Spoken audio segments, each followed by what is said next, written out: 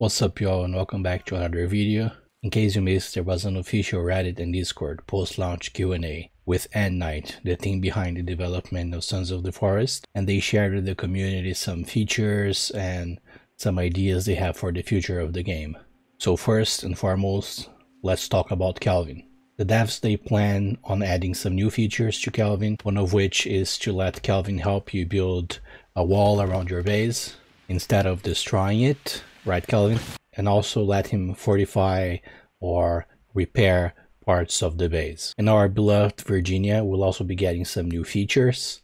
So they want to improve her AI so that when she has weapons equipped, she will feel more brave. Depending on the amount of cannibals and mutants that she kills, she'll feel more courage to go after them and protect the base. And if you're not yet satisfied with Sons of the Forest story and lore, don't worry, they will be adding more uh, story, enlarge the story, as well as cutscenes and new areas to the game, and they will use those areas to further develop the story. And as in every game, there are cheaters as well in Sons of the Forest, as well as griefers.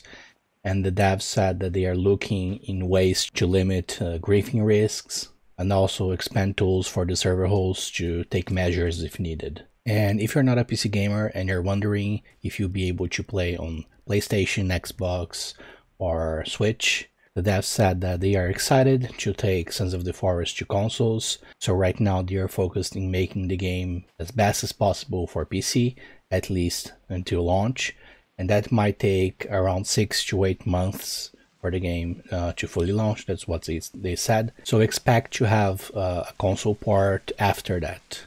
And at this point, the devs, they have not shared any feature roadmap or new content roadmap, let's say. Uh, however, they said that they go through the requests and the questions and the ideas that the community has, both on their Discord and on Reddit. So keep sending the ideas there because they said they go through them and the ideas that fit the game and they think will be a good addition to the game, they most likely uh, will tackle them and, and edge the game. And as of right now, the crafting system is kind of limited in the game, and the devs said that they will most likely add some more craftable items that the community wants, and overall some items that they think would improve the game. There will also be new ghost blueprints added. In case you don't know what ghost blueprints are, they are those uh, prefab blueprints that you place and they are not yet fully placed. You need to add the logs and the materials uh, to it. And they also said that they will be adding and improving the free form crafting system. And there is at least one more enemy that will make it to the game because this enemy wasn't finished when the early access first launched. And they said, and I quote, there may be others we add over time, including variations on some of the current enemies. let's hope for the best and that they add uh, this new creature and also variations of the ones that are exist in the game. Now, the cannibal camps, they look pretty much the same all over the map.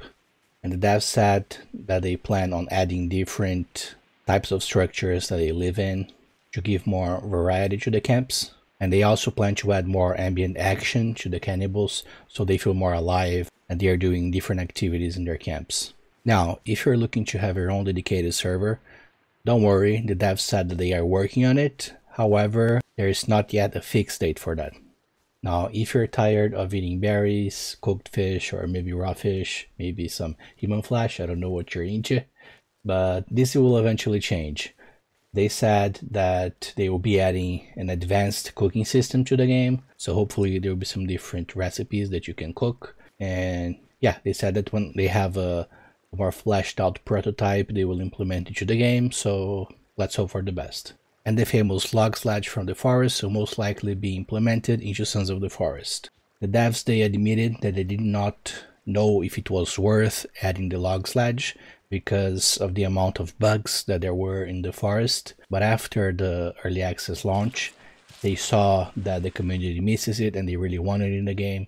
So they said that now they realize how much the players want it and yeah, most likely to be implemented to the game. That's it for today. Leave it down in the comments below what you're most excited for the next update or the game in general, what you expect it to look like when it launches. So if you like the video, make sure to smash the like button, yada yada yada, and see you in the next one.